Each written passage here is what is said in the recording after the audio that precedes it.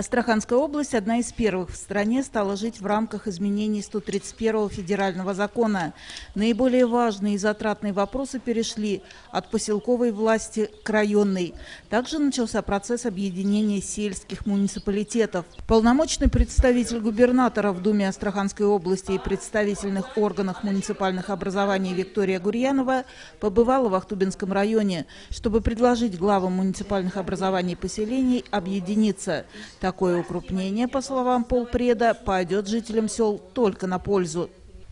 Еще в 2015 году губернатор Александр Жилкин отметил, что к объединению муниципалитетов нужен индивидуальный подход. Там, где эффективный глава, который находит решения, связанные с финансовыми ресурсами по обустройству населенного пункта, наведению порядка, вопрос об объединении не стоит. Еще глава региона подчеркнул, что процесс укрупнения муниципалитетов надо начинать. Это факт. В любом случае в каждом населенном пункте все равно останется представительство муниципальной власти. Полномочный представитель губернатора Астраханской области в Думе и представительных органах муниципальных образований Виктория Гурьянова при встрече с главами поселения рассказала об опыте объединения муниципальных образований в других районах области. К тому же работа по укрупнению небольших поселений к настоящему моменту осуществляется более чем 30 субъектах Российской Федерации. На территории поселений, как правило, нет своих производств, ресурсной базы, а значит и собираемых в местный бюджет налогов. В некоторых муниципалитетах удельный вес расходов на содержание управленческого аппарата превышает две трети доходов местного бюджета. Есть проблемы и с уровнем профессионального образования муниципальных служащих. Чтобы не быть голословными, перед участниками совещания с докладом о финансовом положении поселения выступила главный финансист района. Несмотря на принимаемые меры, бюджеты муниципальных образований поселения остаются несбалансированными. На 2018 год не сбалансированы бюджеты шести сельских поселений. Это село Садовое, Успенский сельский совет, Батайский сельский совет, муниципальное образование Сокрутовский сельский совет, село Пироговка и Удачинский сельский совет. Исходя из расчетных расходов и расчетных доходов, указанным бюджетом Э, муниципальных образований поселения Тубинского района в, целом, в целях дополнительного финансового обеспечения расходными обязательствами, связанными с решением вопроса местного значения на 2018 год, планируется предоставление нового межбюджетного трансферта на финансирование расходных обязательств, возникающих при выполнении полномочий органов местного самоуправления по вопросам местного значения в размере 3 миллиона 824 тысячи рублей. Расчет размера иного межбюджетного трансферта на 2018 год осуществлен в соответствии с порядком предоставления иных межбюджетных трансфертов из бюджета муниципального образования и бюджета муниципальных образований поселения, утвержденным решением Совета муниципального образования Ахтубинский район и исходя из возможностей доходной базы муниципального образования Ахтубинский район. Полпред Виктория Гурьянова, опираясь на опыт других районов, утверждала, что объединение не принесло неудобств местным жителям. Напротив, вдвое сократилась кредиторская задолженность муниципалитетов, погашены долги по коммунальным услугам и зарплате. Возобновлена интернет-связь. Также решена проблема нехватки кадров. Сокращены расходы на управленческий аппарат. Появились возможности для развития поселений. Вся страна идет по такому пути. А раз вся страна идет по такому пути, значит ну, как это сказать, все-таки значит, там же тоже какие-то умные люди. Да, этот процесс очень сильно идет в северных территориях, понятно, в силу причин отдаленности разрозненной. Но другие территории замахиваются еще более стратегически, чем мы с вами. Они сразу в круга уходят. Пожалуйста, давайте попробуем таким путем. Мы почему вам и говорим, что мы хотим вас услышать, послушать. Просто полагаем, что совсем ничего не делать, это неправильный путь, это путь никуда. В никуда главы поселения идти не хотели, но и принимать все сразу на веру не торопились. Было немало сомнений и вопросов. Что станет с поселениями в случае объединения? Не ухудшится ли жизнь людей после преобразований? Глава села Балхуны, к примеру, против объединения с соседями ничего не имеет, но не видит в этом смысла, пока не будет решен вопрос с дорогами. Менялись руководители района, приезжали гости с Астрахани. Все обещали, все обещали построить, построить эту дорогу. Ноль. Ноль. Вот уже жизнь короче становится, а дороги нет. Хотя мы бороздим космические океаны, протягиваем куда-то газ, а у нас нет. Пока дороги не будет, не будет и объединения. Сделаете дорогу, я хоть завтра объединюсь.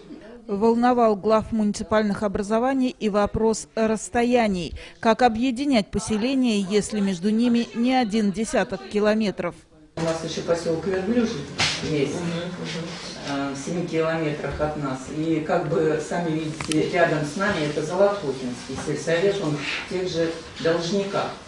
Пироговка тоже, наш сосед через 35 километров, тоже в дол- Ну, это уже немножко далековато. Да, но Потом Николаев поговорим про то пешую же самое. И куда? Остается до Балхун. До Балхун буквально 5 50 километров вот от нас. Больше Ну, даже. Нельзя сказать, что главы поселений уж очень крепко держались за свои места. Положение у них не слишком завидное. Немного полномочий, но и те, что имеются, не подкреплены финансово. Как говорится, власть есть, а денег нет. Тут больше дело в ответственности перед односельчанами. Не пострадают ли они от объединений? Как пояснила Виктория Гурьянова, сами поселения, как административно-территориальные единицы, своего статуса не меняют. Как было село удачное, так оно и останется селом. Соответственно, и все 13 несгораемых льгот для сельских жителей, в том числе педагогов, медиков, работников культуры и соцсферы, сохраняются в полном объеме. Паспортах местных жителей ничего не меняется, заверила полпред. Еще один вопрос, который задавали главы поселений. Что же теперь, жителям сел придется ездить за 3-9 земель за каждой справкой? Виктория Гурьянова предложила уточнить, о каких мифических справках идет речь.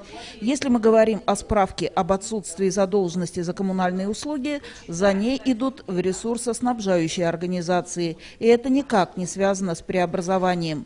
По факту в сельсовет идут только за одной справкой о составе семьи. И ездить за ней никуда не придется. В каждом селе останутся представители местной власти. Депутат Думы Астраханской области Алексей Фурик не считает, что укрупнение муниципалитетов – это решение всех проблем.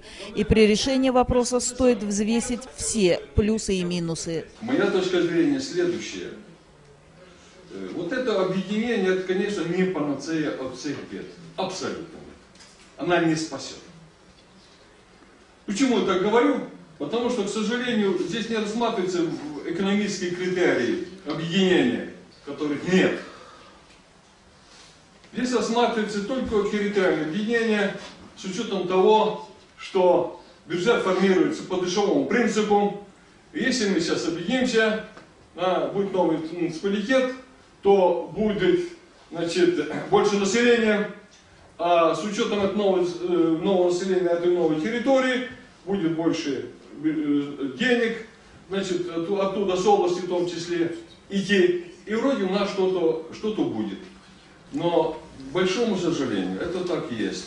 Население по каждому практически населенному пункту, я знаю население, э, ситуацию по населенным пунктам, по каждому населенному пункту оно не растет. Оно медленно, медленно, где статистика, где в физическом исчислении, оно уменьшается. И через энное количество времени мы приходим к такому, э, такому варианту, что э, от чего ушли и к тому пришли. И нам тоже денег не будет хватать на содержание той всей инфраструктуры, исполнение тех всех полномочий, которые есть. У нас не будет хватать денег. Поэтому вот это вариант, который предлагается э, объединение, это э, просто не то, что так область очень сильно хочет объединять. Нет, нечего делать, не ездят и хотят объединять. Это чисто такой тактический шаг вот в этот период, в это, в это время, для того, чтобы немножко оттянуть вот это развитие вот этой ситуации, как я и сказал. Но она не перспективна. В стратегическом плане она недееспособна. Сейчас более состоятельными муниципалитетами считаются те, где больше численность населения. Там, соответственно, больше дотаций из областного бюджета. Но, к сожалению, рассчитывать только на это, по мнению депутата областной думы, не стоит. С каждым годом численность населения в сельской местности убывает. Встреча не ограничилась рамками вопроса об укрупнении поселений. Главы, пользуясь случаем, пытались поднять все проблемы, которые есть на селе. Это и нехватка специалистов, и отсутствие финансов, и работа с населением, которая, кстати, выдвигает немало претензий ко всем уровням власти – Полпред Виктория Гурьянова, по ее словам, ничего нового не услышала. Она тоже встречается с населением и знает задачи, которые стоят перед руководством. Власть, всем объясняю, должна создавать условия для привлечения врачей, учителей на село и на все остальное. Но сказать, почему, извините, у нас недобор, Потому что недобор. Потому что сейчас идет объективная ситуация так, что идут в первую очередь на, слава богу, на инженерные профессии, потом юридические, потом финансовые, потом уже там в конце врачи. Но разве за это мы тоже с вами должны за все отвечать? Я полагаю, нет. Так что почему вот небо сегодня серое? Да я кстати, солнце очень люблю. Ну, а оно сегодня серое. Есть вещи, и это людям нужно правильно объяснять и преподносить. Мы только с вами сегодня говорим. Народ наш не такой глупый, как вам кажется. Все умные, все ушлые, все знают, что им положено от государства. Но при этом, как инициативу, ну давайте говорить реальными вещами. Я вам еще раз говорю, живу в многоквартирном доме. Я не могу на субботник в апреле никого из своего подъезда вытащить. В лучшем случае мы дадим деньги, вы как хотите. А что? Я вышла с метлой, другой с лопатой, третий с банкой краски до белой. Да я ее куплю. И бордюр покрасить, и выйти с детьми, включить э, музыку через там окно открытое. Для этого тоже нужна власть. Поэтому, когда вот это вот мы начинаем вот это вот с вами все вот это вот воду не принимаю и не понимаю. Итоги встречи подвел глава района. Виктор Ведищев настаивал на том, что надо все хорошо взвесить. И для этого у муниципалитетов есть время. Уже после встречи с полпредом Викторией Гурьяновой Виктор Ведищев прокомментировал свою позицию по вопросу укрупнения муниципалитетов. Представители области приехали в лице Гурьяновой, Виктории Валентин, выслушать. Но для того, чтобы э, как бы, разговор состоялся более продуктивно мы показали финансовую ситуацию всех поселений, вот, кто как проживает, и после этого начался разговор. Ну, моя точка зрения так, что разговор так был, типа разведка боем, кто как, как, как что. Вот. Э, когда вопрос стал о том, что будет какая-то экономия, э, то, в принципе, говорить нечего. В любом случае, Виктория Валентиновна говорит, что два человека будут работать, а некоторые говорят, ну, сейчас двое мы работаем. В чем же экономия-то? Поэтому никто экономическую сторону не считал. А почему это объединение-то идет?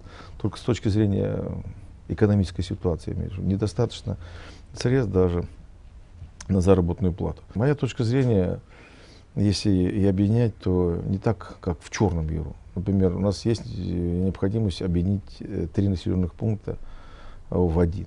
Я это вижу. Например, центр Золотуха, удачная и Пироговка напрашивается потому что Золотуха вышла из этого как бы э, состояния, когда ей денег не хватает. Э, удачно, сильно поправила свою позицию. Там, Пироговка как была потенциально в убытках, так она и. Что касается Сокрутовки, чуть-чуть там поправили ситуацию, но мы видим, что Балхуны более там не то, что более-менее, если Балхуна даже присоединить, к Балхунам присоединить Золотуху, давайте, э, то есть, никаким образом не повлияет на состояние власти и работы муниципалитета в Балхонах, а наоборот даже, даже будет лучше. И, конечно, если брать по северу, это Садовое, которое там даже по тем доходам, которые там есть, даже не, нет э, заработной платы для, для, даже для головы. Поэтому, если говорить, то это наше предложение объединения. Конечно, мы не снимаем с повестки дня главный вопрос объединения города и района. Вот говорим о объединении муниципалитетов, но мы не говорим о главном. Мы говорим, вот взять Харабали, там объединение произошло районного центра городского, Камызяк, Лиман, Красный Яр и так далее. Только одни мы. Вот, поэтому, конечно, нам не хотелось бы, чтобы мы как бы выглядели всегда в этом плане отстающих, но э, в отстающих каком? То есть вот, как бы все новшества, они якобы такие самые прогрессивные. В любом случае, в любом действии, особенно в отношении власти, то есть ее реформация или, или там какие-то изменения серьезные, они должны быть просчитаны от начала до конца. Здесь, здесь поспешать нельзя, но в любом случае эти вопросы надо решать. Поэтому я считаю, что э, если будет улучшаться финансовая ситуация района, мы не будем объединять. Мы посмотрим по итогам вот этого года, какая перспектива будет на 2018 год, заставить еще муниципалитеты работать. Если ситуация не будет финансовая, я имею в виду по бюджету меняться, нам никуда не деться, нам придется проводить реформу по объединению муниципалитетов. Что будет дальше с поселениями Ахтубинского района, покажет время. Пока же Виктор Ведищев уверен в одном, что никогда не должен быть нарушен принцип доступности власти для населения.